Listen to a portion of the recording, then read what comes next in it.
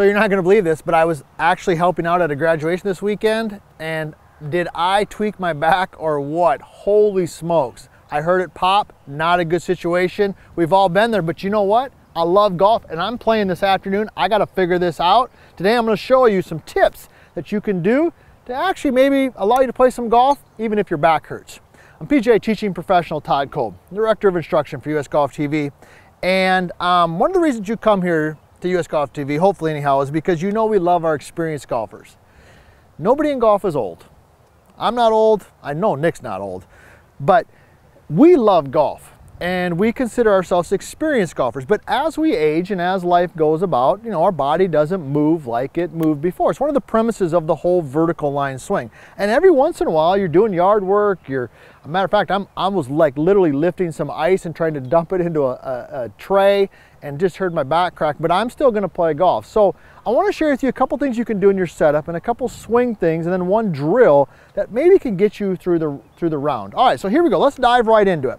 Now, I've got my seven iron right here. So the first thing that I'm gonna do, and this is one of the cornerstones of the vertical line swing, and that is a little bit of toe flare because you know, this is one of the premises of, of, the, of the book, The Bad Lie, is, is that we want movement. Movement and rotation is good. And as we lose flexibility, we've got to adjust the setup a little bit to allow us to do that. So the first thing we're gonna do is we're gonna take our toes and we're gonna flare them more than normal. So from the face on view, when I'm set in there, Okay, if my normal toe flare for sake of discussion is, let's just say it's 20 degrees, all right? I'm gonna, I'm gonna give it another 10 or 15 degrees. So I'm gonna really get my toes kind of flared out. Now, what is that gonna allow me to do?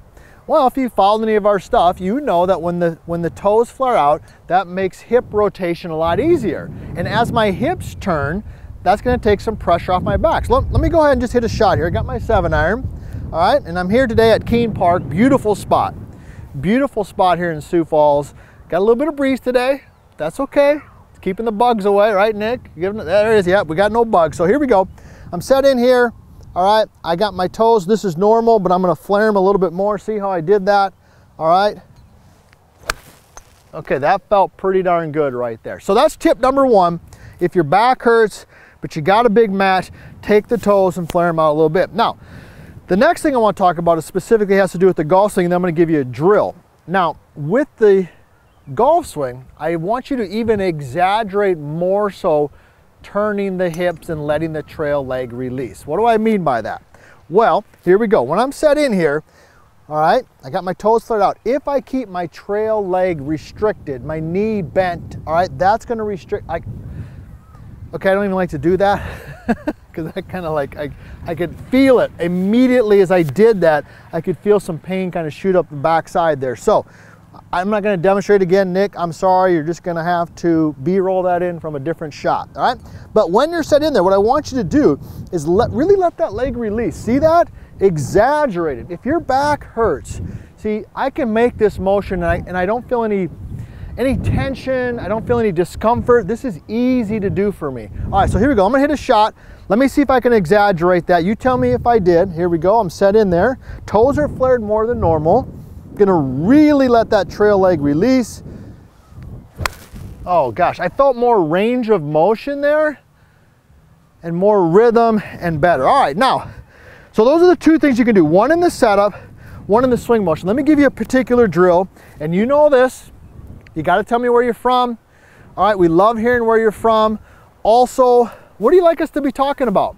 Okay, what do you like us to be talking about here? We love hearing all those different things. Man, we got people from all over. Africa, UK, a lot of Australians. Oh, we like our Australians out there. We got it's, it's on Nick and I's bucket list. We got to get to Australia, and we can't forget our friends in Canada. It seems like the Canada people do a lot of commenting during the winter because maybe you're watching more videos because you're not outside playing golf. But we love hearing from you, and we love that you're part of our family here. Now, what about a particular drill?